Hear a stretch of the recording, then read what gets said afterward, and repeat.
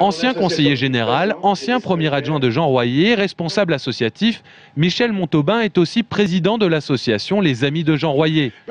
Avec une quarantaine d'adhérents, cette association s'est donnée pour but de rendre hommage à l'ancien maire de Tours de 1959 à 1995 et dans ce but lance une souscription pour ériger une stèle.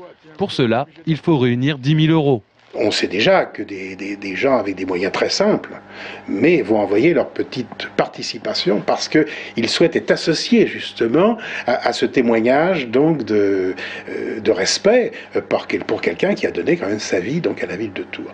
Cinq sculpteurs, dont un Canadien, sont entrés en contact avec les amis de Jean Royer pour réaliser le buste. Il appartiendra à la mairie de définir l'endroit où la sculpture sera disposée. Aussi, l'association veut mettre en place une exposition sur l'action et les réalisations de Jean Royer et pour cela demande aux Tourangeaux des archives personnelles et familiales. Je pense qu'on pourrait donner une espèce de, photographie euh, des Tourangeaux par rapport aux personnages et surtout des petites gens, des petites gens qui vont effectivement vous, vous décrocher un petit diplôme signé de la main de Jean Royer euh, au lendemain par exemple de la plantation d'arbres qu'il avait lancée sur la forêt de, de Larçay. Une exposition sur Jean Royer, un buste de Jean Royer. Pour l'instant, tout cela est à l'état de projet.